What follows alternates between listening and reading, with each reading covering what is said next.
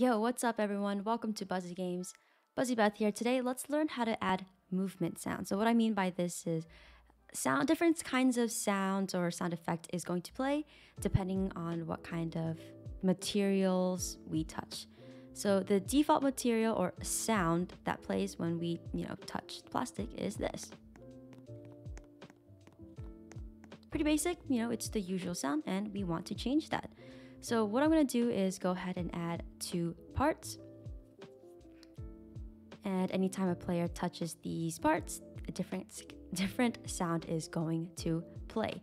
So my white part, the material of that is going to be plastic, and the green part, the material of that is going to be grass. So inside of starter player and starter character scripts, go ahead and add a local script. Delete our print statement we have a variable for our humanoid, and then another variable for anytime our humanoid part is running. Now we have a while true do loop.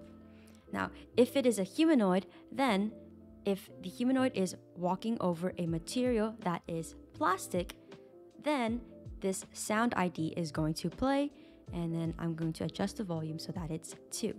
And then I have another if and then statement where if a player or humanoid is walking over any material that is grass, then this specific sound ID is going to play. Now you can add however many if and then statements you want in here. Just remember to end it or it'll automatically end it for you guys. But since I only have two parts, which is, or two parts with two materials, which is plastic and grass, I'm going to end it here. Alright, so I'm gonna go ahead and test it out. So I forgot that the base plate material is actually default by plastic. So it's going to play this sound. Um, so even if I, you know, step on this part, it's still plastic, so it still plays the same sound. But if I walk over to my grass part, the grass is going to play. Cool. So if you guys enjoyed this content, please give us a like and a subscribe. It means so much to me.